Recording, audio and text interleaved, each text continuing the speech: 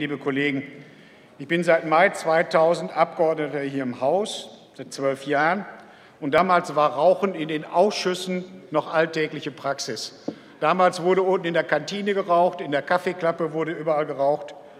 Und wir können festhalten, dass es einen sehr, sehr starken öffentlichen Bewusstseinswandel in dieser Frage gegeben hat. Ausgangspunkt sind die gewachsenen Erkenntnisse über die gesundheitlichen Schäden, vor allen Dingen auch für Passivraucher, für Nichtraucher. Da hat es viele Erkenntnisse gegeben. Und diejenigen, die davon betroffen waren, waren nicht mehr bereit, das Risiko gesundheitlicher Schäden hinzunehmen, damit andere ihrem Genuss frönen könnten. Das ist die Grundlage der gesamten Debatte gewesen. Und auch deswegen hat es das Nichtraucherschutzgesetz von CDU und FDP gegeben, weil einfach in der Gesellschaft sich in diesem Prozess immer mehr die Erkenntnis durchgesetzt hat, so geht es nicht. Das Gesetz hat aber zu viele Mängel. Es schützt nicht eben die Nichtraucher eindeutig genug. Und deswegen muss es an dieser Stelle Korrekturen geben, und die nehmen wir heute mit dem Gesetz wahr. Und ich habe die Anhörung verfolgt und die Stellungnahmen im Vorfeld, und es sind eine Reihe sehr guter Stellungnahmen gekommen. Ich will nur zwei, drei erwähnen. Das Deutsche Krebsforschungszentrum Heidelberg, ich zitiere, keine andere Berufsgruppe hat ein so hohes Krebsrisiko wie Kellnerinnen und Kellner.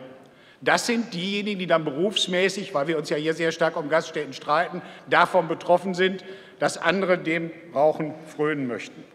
Aus der Anhörung der Ärztekammer, also der Beitrag der Ärztekammer, 25 Prozent weniger Herzinfarkte bei Nichtrauchern und bei der stationären Behandlung von Herzinfarkten 8,6 Prozent weniger, bei Angina pectoris, einer Vorstufe 13,3 Prozent weniger. Also eindeutige Ergebnisse, nachdem Nichtraucherschutzgesetze eingeführt worden sind, messbar von der Ärztekammer festgestellt.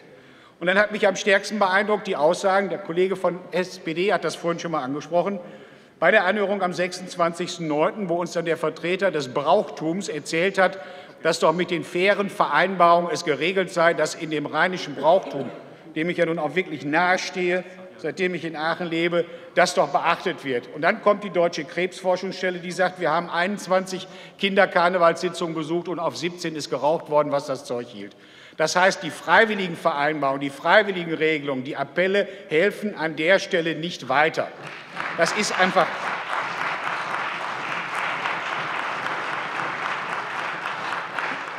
Und es wird Herr Kollege niemand Bringen, ich darf Sie bitten, zum Ende zu kommen. Gut, dann lassen Sie mich einen letzten Satz sagen. Ich habe das immer so verstanden, dass es eine zutiefst bürgerliche Tugend ist, in Respekt vor dem anderen ihn nicht zu schädigen und zu beeinträchtigen.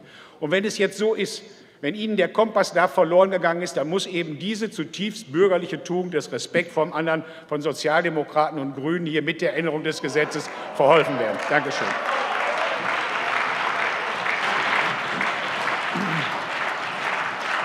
Vielen Dank, Herr Kollege Bringen. Für die Fraktion der FDP spricht nun der Kollege Herr Dr. Stamm.